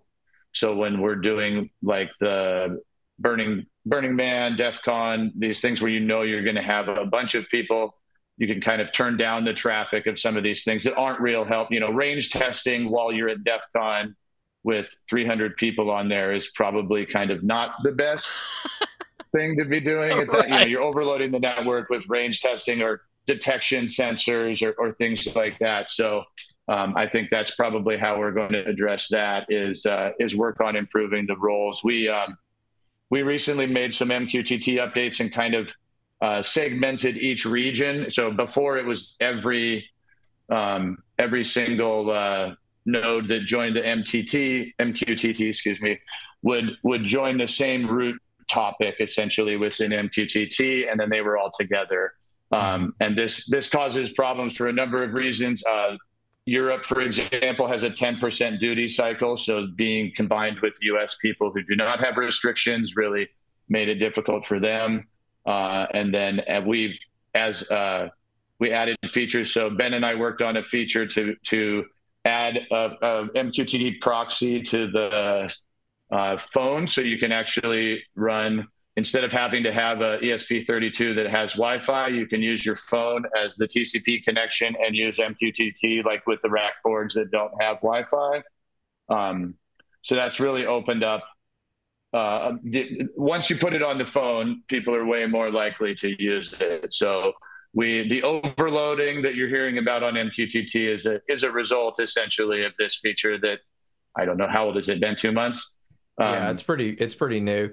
Yeah, and and that one was we you know when folks kind of found out what it was, it, it really took off. Um, sure, we, we, probably didn't advertise it very well um, when we you know we threw all the the buzzword salad at folks, and then we're like, well, you can share your phone's internet connection with your with your Meshtastic device, and people are like, "Oh, okay." That's not exactly what it does. Yeah, that's probably too much for those little devices. They'd melt if you tried to do that. But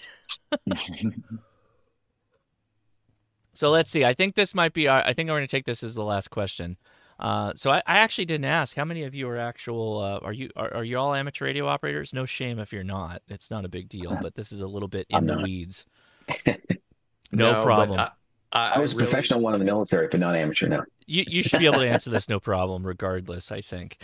Uh, could this be used by a county ARES and RACES group? So ARES is um, Mhm. the amateur radio emergency service, and RACES is the basically Department of Homeland Security emergency response group for emergency communication. We often uh, use VHF UHF radios for that, and we'll set up like uh, you know, you know, we'll set people up with a radio like in a location, and they'll kind of bent pipe human connection way of moving traffic. I, I think where this question is going, because a lot of the times we have to pull files and data off of devices, like we'll connect it to a computer to make, you know, to send actual documents and whatnot. This might be too heavy a lifting for this, but I don't know. What are your thoughts?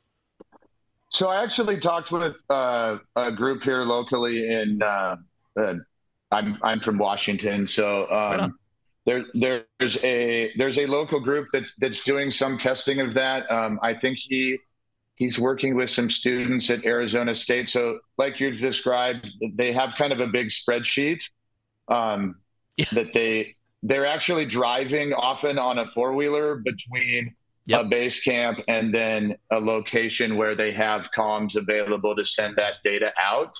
Um, and so I don't know, I haven't talked to him about progress recently, but one of the things they were looking at was kind of taking that spreadsheet, right, and then sending each row as a message.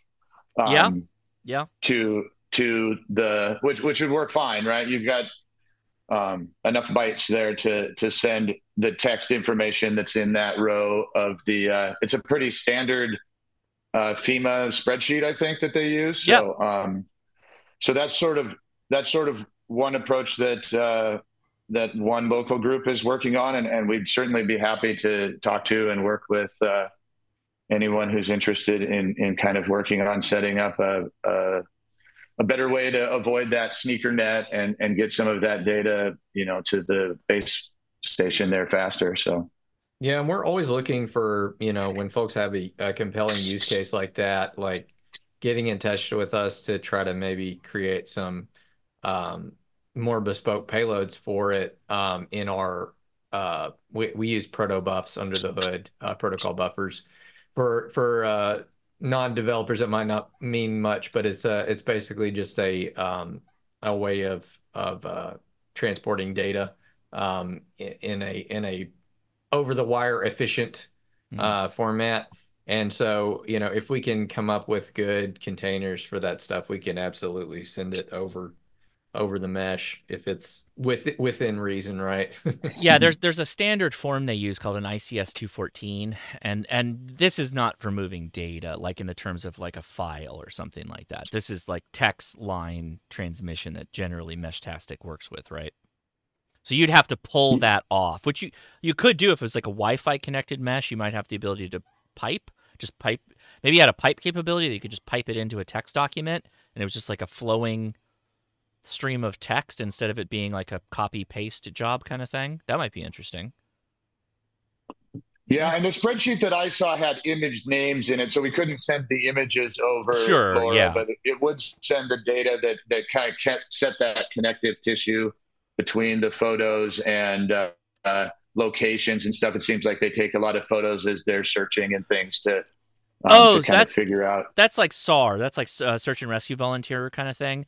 Uh, so a lot of the the emergency communications guys, like ARES and RACES, they they send these IT uh, ICS 214s, and that's always like text docs. It's it like you know it, it gives you the detail of like who the person is, you know what they found, what the disaster damage was, Right. etc. You know it's almost like a the blotter, the plotter, if you will. Like no, the blotter was the right term for like just text that you're getting, like a stream of text almost. So in that mm-hmm. sense, that could be done line by line, message by message, if you just could pipe it into something as just like a raw feed almost. Yeah, this looks absolutely doable. Doable. I'm looking at the ICS 214. Oh, cool. Yeah, take a look. Yeah. They they've if you consider how far ham radio has come, and this this form has existed in many different ways. Uh, we've had low transmission modes forever that we've been able to do this with. So it's it's really more of the formatting and how you would Mhm. transfer that data. That's the question. So I'm sure it's possible. It just you'd have to come up with the right way to do it. I think. Yeah, and we we definitely do a lot of uh cost cutting on on the over you have the wire. to. Yeah, you have yeah, to. Right. Yeah. Yeah, so what so people are always surprised when they come in and like Latin longs are like compressed into like a an integer 32 and they're like, "What?" And you're like, "Yeah, you just multiply by uh by 1 E7 and and you're You don't understand the size of variables, guys. We got to use small variables. Yeah. You don't get small. it. You don't get it. Uh, I think that's going to be our last question. You guys were fantastic uh, making this happen, and I I really do appreciate this ad hoc live stream that you know you guys were just made yourselves available for. This is this is fantastic. So I mean, there's there's really no better you know mention of you guys being a part of the community. I was literally just kind of asking my questions in the Discord, and you kind of made yourselves available to to do this, and I, I hope everybody that's watching really appreciates that. So thank you all for taking the time. I really do mean that. Thanks for having us. My pleasure. Yeah. Yeah, thank you. And, and Garth, I hope you you got some good powder in today. Were you out snowboarding, skiing? What was that? Snowboarding. Yeah, it did snow today. So I did go to, I went Good. to Canada for a couple days and it was a little icy there. And uh, then we came back and, and rode in Montana today. And it, I don't know, probably snowed six inches while we were here, which is pretty good for La Nina. So Yeah, the Pineapple Express. We're all dealing with that on the uh, the West Coast right now. I'm getting rain right now, so uh, which is rare for us, so we'll take it.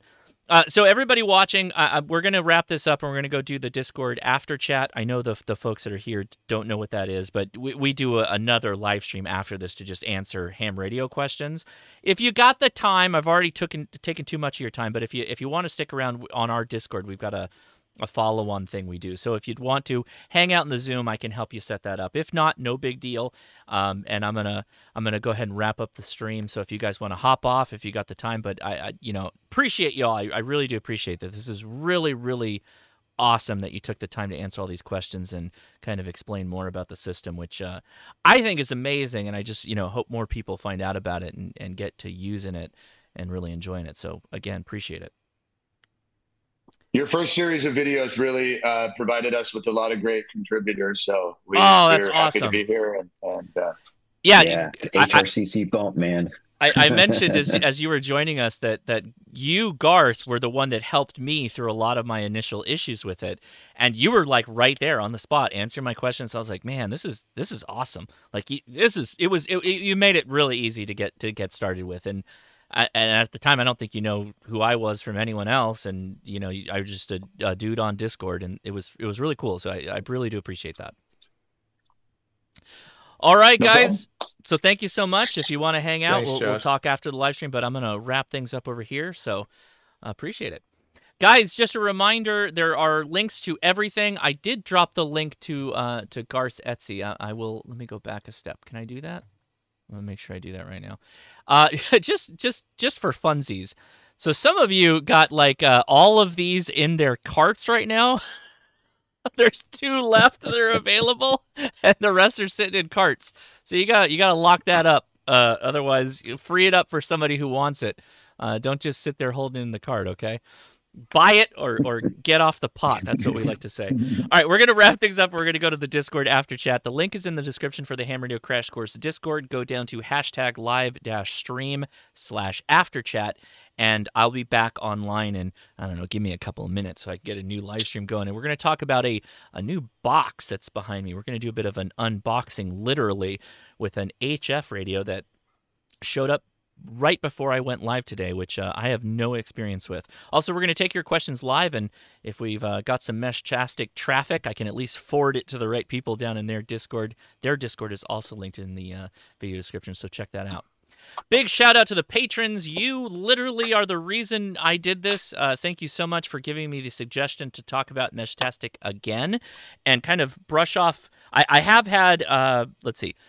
So I my T beams have been active, and I what am I doing? I'm kind of messaging myself. You know, I, my wife is like, "This is fun, but I don't know if I can get all my friends doing this and build out the network." But my son was the one, my oldest son Ben. He was like, "Can you? Is this something that like you know I'd be able to message you?" on?" And I was like, "Yeah, I mean I could work that out." And it turned out that around that time, that's when I started hearing about the T deck. And the T deck allowed me that capability to be able to hand him a device and have him be able to communicate with me. And we've been having a lot of fun, so, you uh, know, just being able to message back and forth. And at some point, at some point, I might allow him to take it to school with him as kind of a just a safety way of him being able to communicate with me. They're not really allowed cell phones. I don't really want him to have a cell phone yet. So this is a, a, a good way to be able to stay in communication with my son. And I, I think though, I think I'm going to have to go with the one that has the GPS in it because I'd, I'd, like to be able to, you know, potentially find him if there's a problem. And unfortunately, the T deck doesn't do that. And I don't know if you'd want that. It's a big hog of a battery to do so. So I really do appreciate you all uh, watching and uh, appreciate all the wonderful comments we got. Uh, and yeah, I, I, really do recommend though if it's if it's more than just the the uh, I, I'm somewhat experienced as a user of the system, but if you've got deeper questions, really do go to the Discord. Really do join them on the Discord. That's where you want to be because it is uh, it's a fantastic resource with a really fast reacting group of people, much like the Hammer Crash Course is. But think of that, but for Meshtastic, and that's uh, where you want to be. You'll have a ton of fun with this, I promise, and you're not going to spend a ton of money to be able to get a couple of systems going. You'll be off grid in the sense that you can get solar panels going with these because they sip power. That's the design, at least if you set them up that way, and you'll have a lot of fun. All right. Thank you so much. Appreciate you, everybody watching. I'm going to wrap things up over here. 73s, enjoy the memes.